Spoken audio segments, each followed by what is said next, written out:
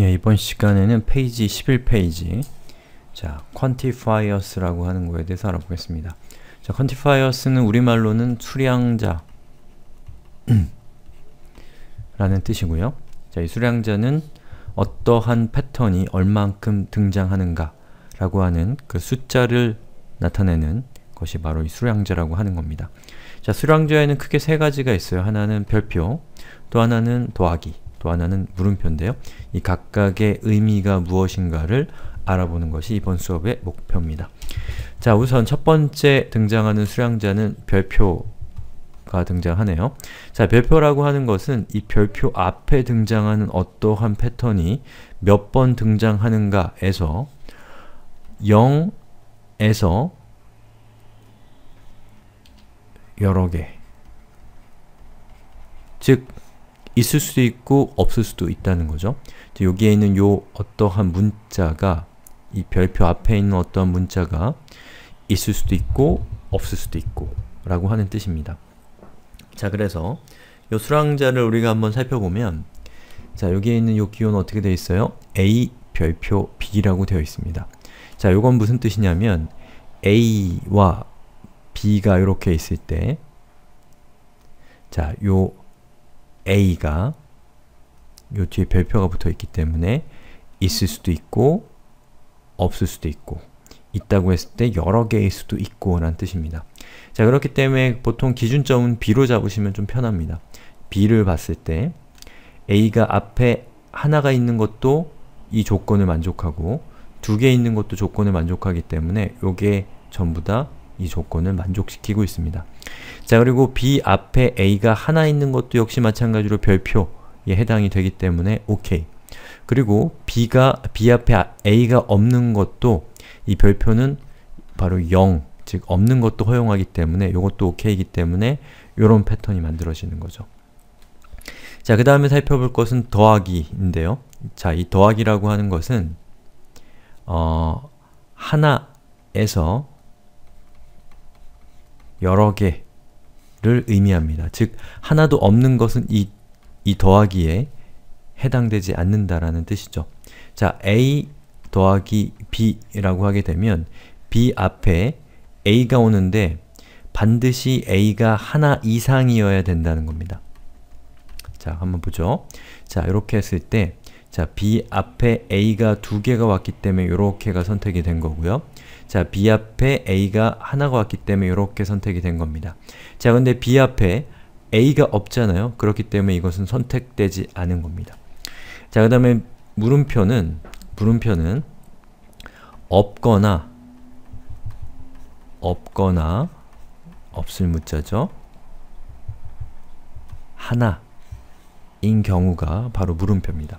자, 그래서 여기서 여러분이 a 물음표 b라고 하면 b 앞에 a가 없을 수도 있고 또는 하나인 경우, 여러 개인 경우는 선택되지 않습니다. 자 그렇기 때문에 b 앞에 a가 하나인 것만 선택이 됐고 다른 것들과는 다르게 a가 선택되지 않은 것을 볼 수 있습니다. 자 b 앞에 a가 있기 때문에 선택이 됐고요. b 앞에 a가 없을 수도 있기 때문에 이 b가 선택이 된 겁니다. 자 이번 시간에는 앞서 우리가 이전 페이지에서 봤었던 선택 수량자 라고 하는 것을 이전 시간에는 이 알파벳과 대응해서 살펴봤는데 이번에는 다른 특수한 기호들과 같이 조합해서 사용하는 방법을 살펴볼게요. 자, 여기 보시는 것처럼 자, 여기에 있는 이 별표는 뭐죠? 별표는 0부터 여러 개를 다 포괄하는 것이 별표입니다. 자, 별표 앞에 점이 붙어 있기 때문에 이것은 무슨 뜻이냐면 어, 모든 텍스트란 뜻이죠. 그래서 여기 있는 이 특수한 기호들이 전부 다 선택이 된 겁니다. 자, 그 다음에 자, 여기 별표가 등장을 했죠. 그 앞에 대시 a 그리고 이렇게 되게 되면 자, 마이너스 앞에 a가 없을 수도 있고 하나일 수도 있고 여러 개일 수도 있다는 뜻입니다. 자, a가 그리고 그 앞에는 꼭 대시가 있어야 된다 라는 뜻이기 때문에 자, 여기에 있는 요 소스 중에서 자, 요거는 왜 해당될까요? 바로 마이너스가 분명히 있고 그리고 앞쪽에도 마이너스가 있으면서 이 a라고 하는 놈은 예, 요 별표에 의해서 없어도 되기 때문에 이놈이 선택이 된 겁니다. 마찬가지 의미로 마찬가지 이유로 얘도 선택이 된 거죠. 자, 그 다음에 마지막 케이스 3를 보면 자, 얘는 어떻게 생겼나요?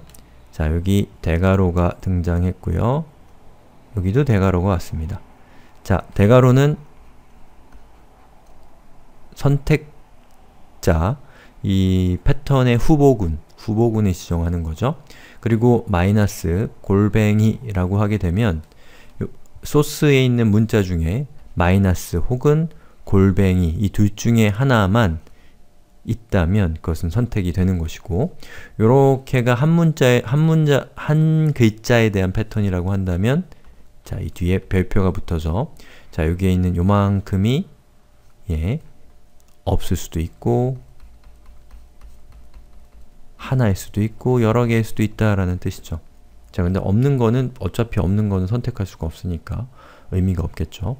자, 그래서 한번 살펴보면 자, 여기에 마이너스는 자, 요거고 골뱅이는 요거고 마이너스도 요거이기 때문에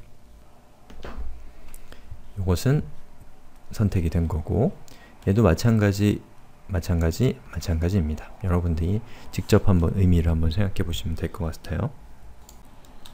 자 이번 페이지에서는 더하기라고 하는 수량자 즉 어, 하나에서 여러 개 사이의 숫자를 의미하는 요 더하기라는 수량자와 어, 다른 패턴들을 결합하는 예제를 살펴보죠. 자, 소스는 거의 비슷한데요. 자, 여기에서 보시면 자, 더하기 앞에 별표가 있는데 이 별표 앞에 이렇게 escape가 있습니다. 자, 이 escape는 뭐죠? 뒤에 따라오는 별표를 단순한 문자로 만들어주는 역할이 이 escape 할 때 사용하는 역슬래시의 이 역할이죠. 그 다음에 더하기라고 하게 되면 어떻게 되냐면 이 앞에 있는 별표가 하나 이상이어야 된다라는 뜻이죠. 자 그렇게 해서 나온 결과는 여기 있는 혼자 있는 별표 그리고 얘는 두 개이기 때문에 얘도 선택이 됐고요. 얘도 하나이기 때문에 선택이 됐고 선택됐고 선택이 된 겁니다. 자 그 다음에 이렇게 하게 되면 자 앞과 뒤는 반드시 마이너스와 마이너스가 와야 되고 그 중간에 골, at 그리고 더하기를 했기 때문에 여기 있는 골뱅이 영어로는 at이라고 하죠. 저 at은 하나 이상이 있어야 된다는 뜻이죠. 자, 그 결과 자, 여기 앞에 뒤에 이렇게 마이너스가 있고 골뱅이가 3개이기 때문에 이 조건을 만족시키죠. 얘도 마찬가지로 마찬가지 이유로 조건을 만족시키는데 자, 이거 같은 경우는 왜 만족이 안 될까요? 앞과 뒤에 있는 대시는 존재하지만 그 사이에 골뱅이가 하나라도 있어야 되는데 하나도 없기 때문에 얘는 해당 사항이 없는 겁니다. 자, 그 다음에 3번을 보면 자, 3번에서 여기에 있는 요것은 어, 대가로 안에서 의미가 바뀐다고 했죠? 대가로 안에서는 얘가 부정을 의미합니다. 그리고 요 뒤에 요거 잘 안 보이겠지만 여기 공백이 있습니다. 공백. 자, 그 얘기는 뭐냐면 공백이 아닌 것이 하나 이상 있을 때 선택이 되는 겁니다. 자 그러면 공백을 빼고 나머지가 선택이 된다라는 뜻이기 때문에 보시는 것처럼 공백에 해당되는 부분이 이렇게 비어있는 것을 예, 볼 수가 있습니다. 그리고 나머지 것들은 하나 이상이기 때문에 여러 개, 이건 하나, 이건 다 선택이 된 것을 알 수가 있죠. 자, 그 다음에는 물음표에 대한 얘기를 해볼 건데요. 물음표는 뭐였죠? 없거나 자 이게 반복적으로 지금 여러분들 훈련을 하는 거예요. 이거 이렇게 반복적으로 듣다 보면 자연스럽게 알게 됩니다. 없거나 하나 이 사이에 있어야 된다는 것이 이 물음표의 의미죠. 자 그러면 예제를 한번 살펴보죠. 자 여기는 예제에서 정규 표현식은 어떻게 생겼나요? 자 앞에 마이너스가 있어야 되고 x가 있는데 뒤에 물음표가 있습니다. 그 얘기는 요 x가 없어도 되고 하나야 되지만 여러 개는 허용하지 않는다는 뜻이죠. 자, 그 다음에 요 x는 예, 반드시 있어야 된다는 뜻이고 그 다음에 요거는 뒤에 얘가 따라오기 때문에 x가 역시 마찬가지로 없어도 되고 하나여도 되지만 여러 개는 허용하지 않는다 라는 뜻이 되는 겁니다. 그리고 x가 오죠. 자, 그렇게 해서 이 첫 번째 것은 선택이 되나요? 자, 여기 마이너스가 바로 여기에 해당이 되고요. 그그 다음에 x가 두 개 왔는데 x가 두 개 왔다는 건 뭐죠?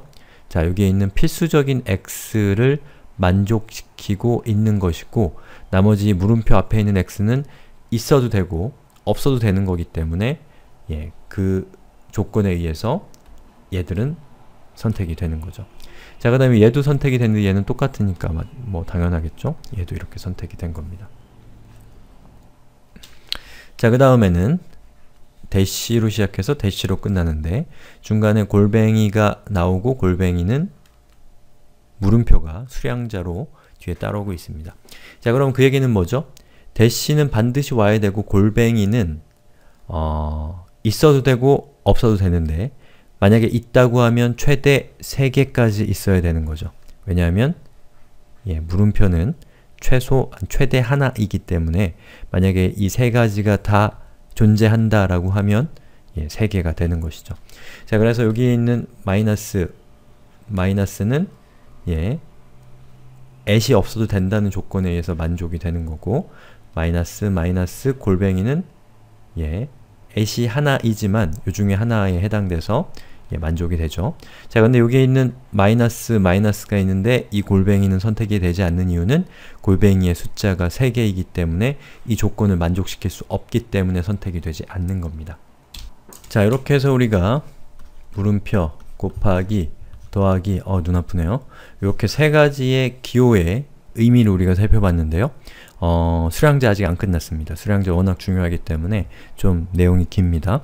그래서 일단은 동영상 시간이 많이 지나서 여러분들 지칠 수 있기 때문에 여기서 일단 끊고 다음 동영상에서 나머지 좀 더 디테일하고 더 정교하게 수량을 제어할 수 있는 방법에 대해서 알아보도록 하겠습니다.